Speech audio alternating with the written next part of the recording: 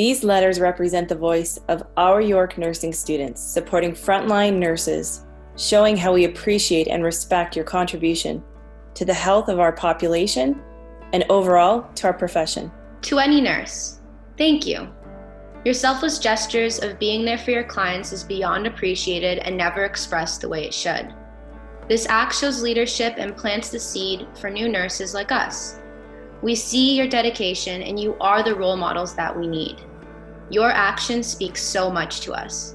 Every shift that you show up, you take us one step closer to world homeostasis. You know the risks, yet you still get things done. Your innate nature for care is unprecedented. We hear your concerns for your patients and your families. I see you and the few standing with you, scared but fierce. And staring adversity right in the eye, be filled with hope and know that you are not alone. During this dark time, you are the light that shines on humanity. Through your compassionate care, you are bridging the gaps between countries, governments, families, doctors, and patients. You are at the center of this fight we are facing. It is not an easy role you are taking on, so thank you for doing it. You are a hero in the eyes of a nation. Leadership is not about being able to motivate others, but about putting people first. When businesses shut down, you show up to work and keep this world running.